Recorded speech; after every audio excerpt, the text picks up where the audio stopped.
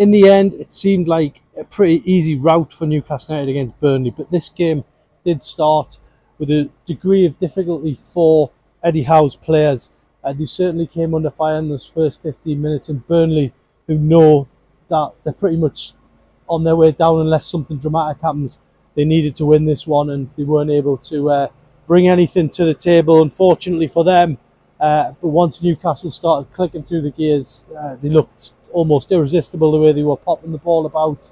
And really, Eddie Howe will feel that his team are in exactly the right place at exactly the right time in the season. Um, the opening goal was a typical sort of goal for a, a team playing with confidence. Murphy putting the ball in, Isak forcing a save from the keeper, and Wilson, the man in form now with two and two games, knows there's an England place on the line for him. Um, he scores to make it 1 0. And then Newcastle, after that, really, it was just almost cruise control. Longstaff sweeping home. A second goal. Bruno adding a third. And after the break, Newcastle even had, could afford the luxury of missing a penalty um, and maintain that 3 0 lead before Isak finally got his goal to make it 4 0. And Newcastle cruising. We were wondering if it was going to be another 8 0 style rout like it was at Sheffield United. But Burnley showed a bit of fight.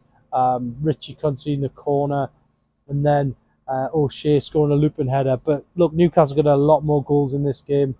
Um, I'm not entirely sure if Eddie Howe was fully satisfied with things the way the game finished because Newcastle could have gone on and got an even bigger scoreline in this game, if we're honest. But they're nearly there. Obviously, they're looking over the shoulder. Chelsea are still in there, but Newcastle nearly there. They've got three games left, uh, two away from home, Man United and Brentford, and then Brighton at home. So Newcastle can win two of those games, then they really are within touching distance of the Europa Conference League, at least potentially the Europa League.